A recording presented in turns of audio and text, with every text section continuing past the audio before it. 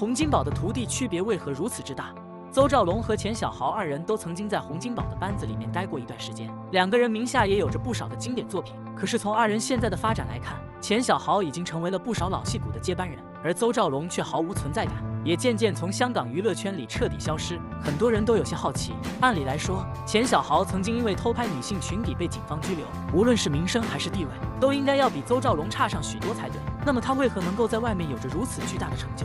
而邹兆龙却落到了这般下场呢？其实原因非常的简单，首先钱小豪在路子上要比邹兆龙宽得多，在进入娱乐圈以后，邹兆龙曾经几次因为遇到挫折想要退圈，最后还是在周星驰的电影里饰演了一个配角才大火大热。在这之后，反派人物就已经成为了邹兆龙身上的代名词。从他拍摄的那些电影类型中也能够看得出来，大多都非常单一，在任何的电视剧里，他都是一个真正的配角，想要拿到一些主演的剧本基本不可能。而钱小豪却不一样，他的戏路非常宽，他可以和林正英在一起搭档拍摄僵尸片，也可以在其他的电影里面饰演反派人物。即使是在自己闹出负面事件，被娱乐圈雪藏了数个月以后，他都能够凭借着自己的坚持重新在娱乐圈中崛起。这恰好是邹兆龙身上缺乏的勇气和精神。所以现在的邹兆龙在圈内基本已经毫无存在感，而钱小豪却在圈内混得越来越好。第二，邹兆龙身上能够让人记忆深刻的点并不是很多。除了他那一身好功夫以外，人们还能够想起他所饰演的哪一些经典角色呢？而钱小豪的经典作品可以算得上是数不胜数。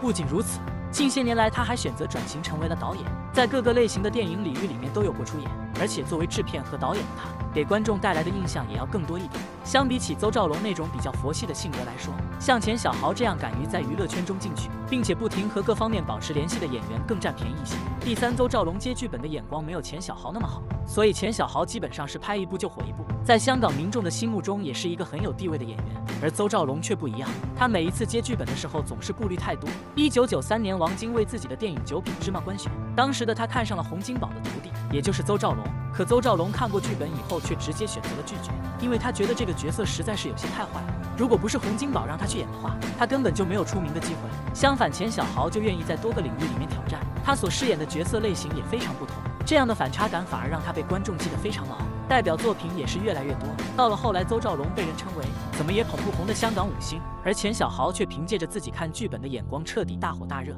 各位网友，你们认为邹兆龙为何混得没有钱小豪好呢？